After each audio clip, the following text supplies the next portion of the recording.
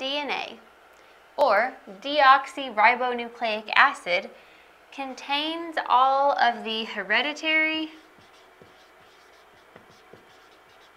or genetic material in humans and most other organisms. So the DNA is what lets people know what genetic material is in a person or is in a certain creature or other organism. Now each cell in an organism has the same DNA. So if someone were to get a piece of your hair and a fingernail and a piece of skin and look at it very closely and look at the DNA, the DNA in all three would be the same and it would let whoever was looking at this know that all three of those articles came from the same person. This is the same for other organisms. Each cell in the organism's body is going to have the same DNA pattern so that you'll be able to tell that it came from the same creature. Most DNA is found in the nucleus of a cell.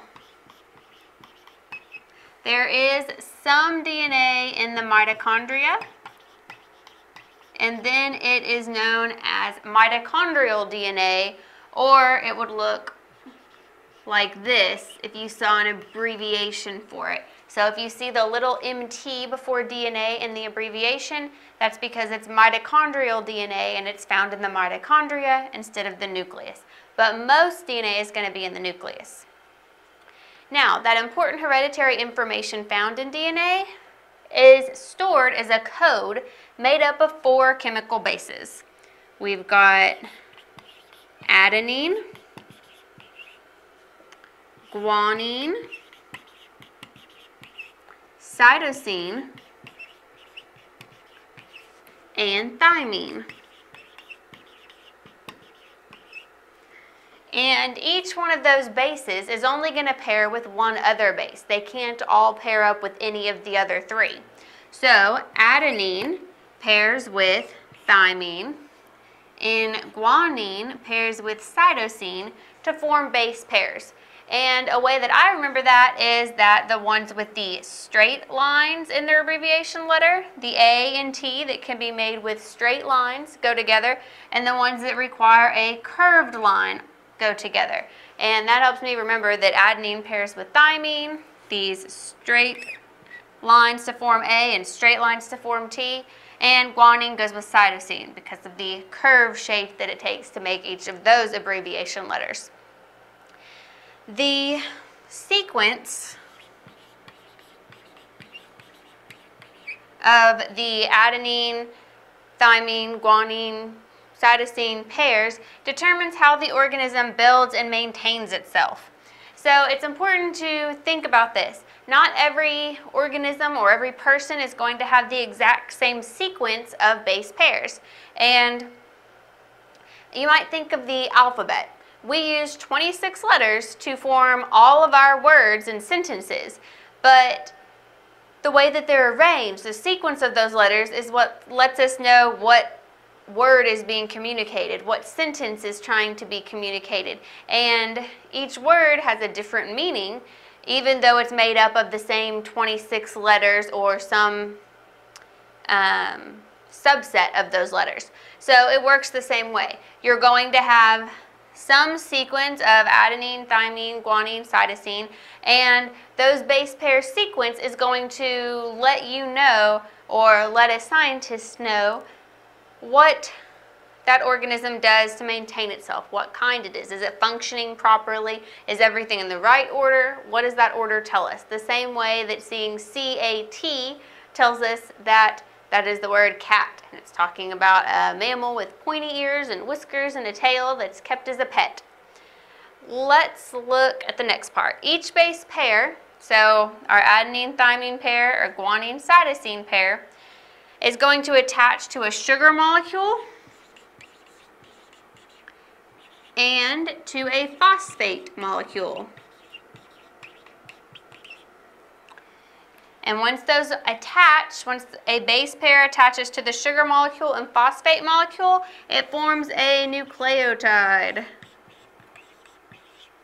And these nucleotides form two long strands that spiral into a double helix. That is the shape that DNA takes on. And I did my best to give y'all an example of a double helix. It kind of spirals around. If you were to curl a ribbon around my pin, it would form that kind of double helix shape we're talking about. And you should think of a twisted ladder with the base pairs as rungs. So if we were looking at this picture here, this would be our double helix shape that's spiraling around, and each one of these little rungs on the ladder would be a base pair. So we would have adenine and thymine together, and they would be paired up. And then here, you would have guanine and cytosine paired up.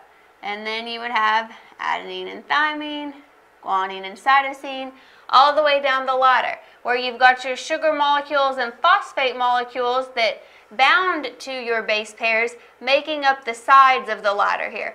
And you just have this long DNA chain, and then the sequence that you see is going to let you know how that organism builds and maintains itself because not every creature's DNA is going to be the same. Everyone has a very unique DNA pattern.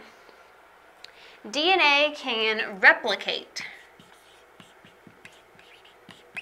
or make copies of itself by splitting the ladder in half.